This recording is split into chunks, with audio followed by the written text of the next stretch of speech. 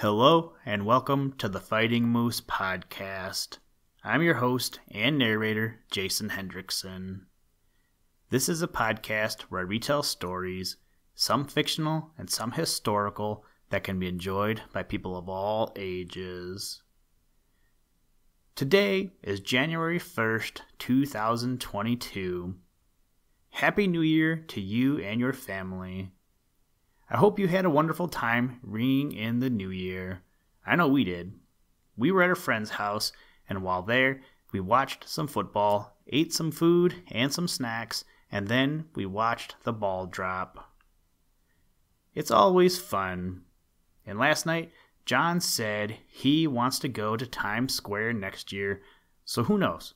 Maybe we will see if that happens. Anyway, for today, I figured another New Year's story would be okay to do. So today we read the story, The New Year's Bell, written by Andrea Hofer Proudfoot, and comes to us from the book The Pearl Storybook.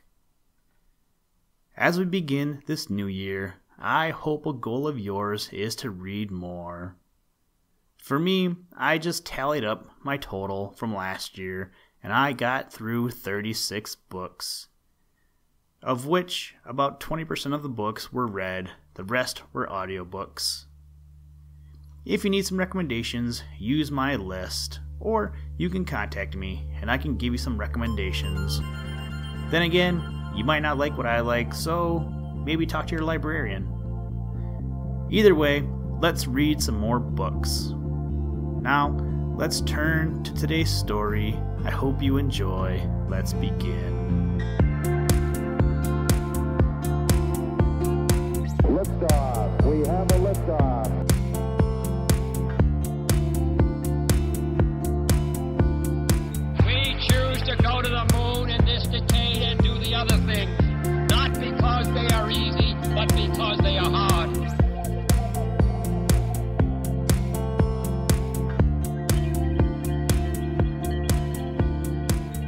The New Year's Bell.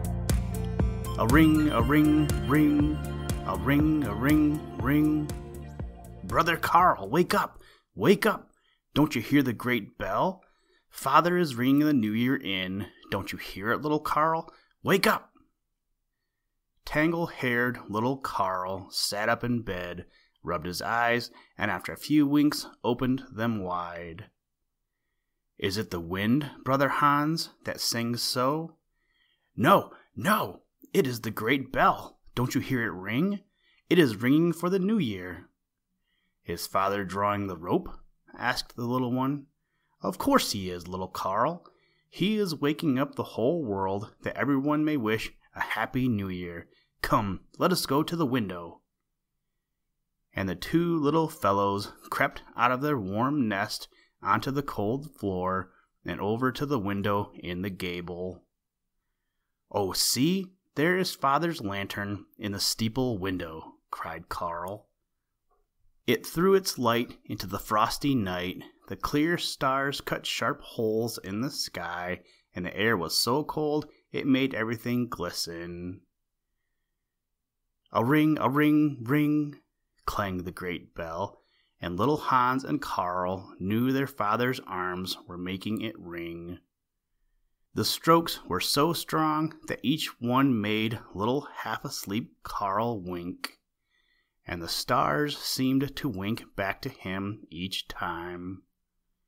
He crept closer to Hans, and the two stood still with their arms around each other.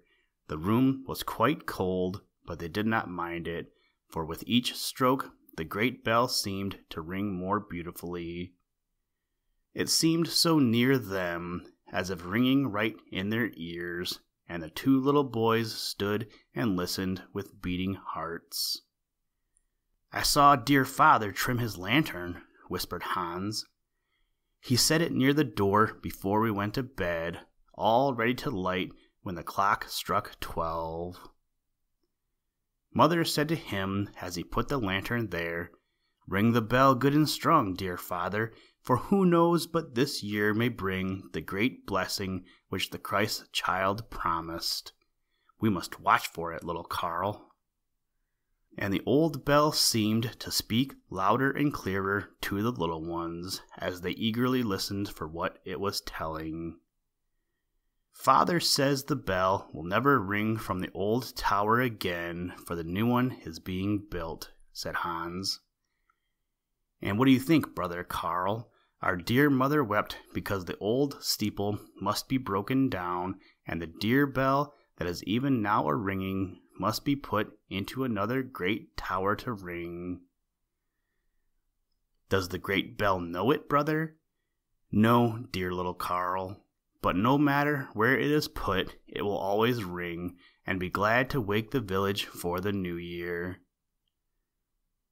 Will we go and say good-bye to the dear old bell, brother Hans? whispered little Carl. Yes, brother mine. When it is day, we will go, for it has rung so many times for us. They crept out of the cold into their snug bed again, and the great strokes poured from the tower window long after the little curly heads were full of dreams. Wake up, brother Hans, there is the sun. This time little Carl was the first to arise. Quickly they were both dressed, and opening their door noiselessly, they went down the narrow stairs on tiptoe and then out into the open air. A swift wind was blowing. It swept over the bare bushes and whirled the snow into the children's faces and filled their curly hair with flakes. But the sun was smiling down on them and said, See what a beautiful day I brought for a New Year's gift to you. And the little ones passed through the church door that was always open and into the belfry tower. They knew the way, for father had so often taken them with him. They came to the long dark ladder way, but they did not mind the dark, for they knew the bell was at the top, and they bravely began to climb. Hans had wooden shoes, so he left them at the foot of the ladder. It was so much easier to climb a ladder with bare feet. Besides, he hardly felt the cold, he was such a quick and lively little boy. Carl went ahead, that brother Hans might the more easily help him. They climbed up and up, and the brave big brother talked merrily all the time to keep little Carl from thinking of the long, long way. Up and up they went. It became darker and darker Little Carl led on and on, and he was glad that Hans was behind him. All at once, a bright gleam of light greeted them from above, and they knew that soon they would be with a dear old bell. Through the opening they crept, and there the great bell hung, and they stood beneath it. Hans could just touch it, and he felt its long tongue and saw the shining marks on its sides where it had struck in clanging for many, many years. It was very cold in the belfry. Little Carl tucked his hands under his blouse and gazed at the bell, while Hans explained to him what made the music and the great tolling tones that came from it. The whole world loves the great bell, brother Carl, said Hans. Mother thinks that last night it rang in the great blessing which the Christ child had promised.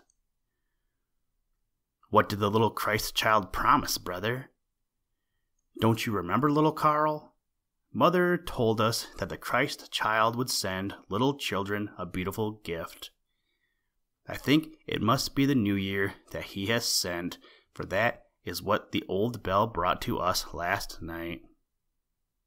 And Hans lifted little Carl, and he kissed the beautiful bell on its great round lip, and the bell was still warm from its long ringing.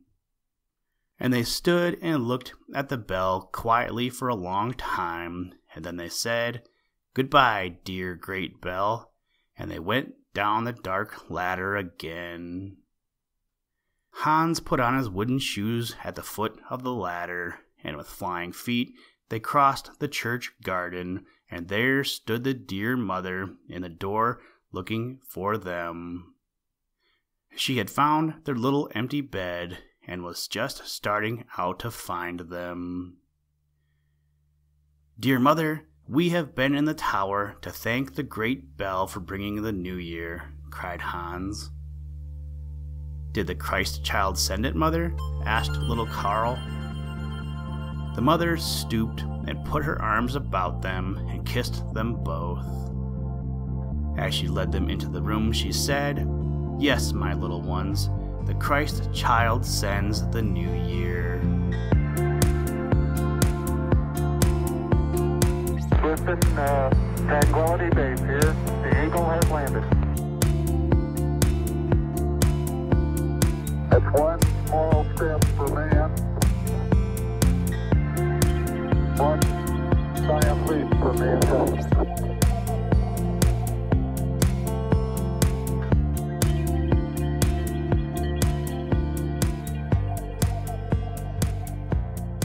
Thank you for listening to this episode of the Fighting Moose podcast. Please join us next time as we read another exciting story.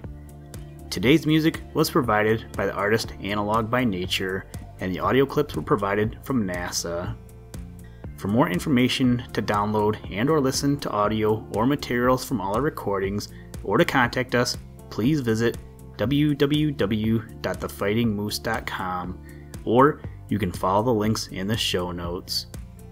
If you enjoy the podcast, please leave us a review wherever you get your podcast or on iTunes and tell a friend. Thank you for your patronage, and as always, try and do a random act of kindness every day. Mission complete, Houston. After uh, serving the world for over 30 years, the space shuttle turned its place in history and it's come to a final stop.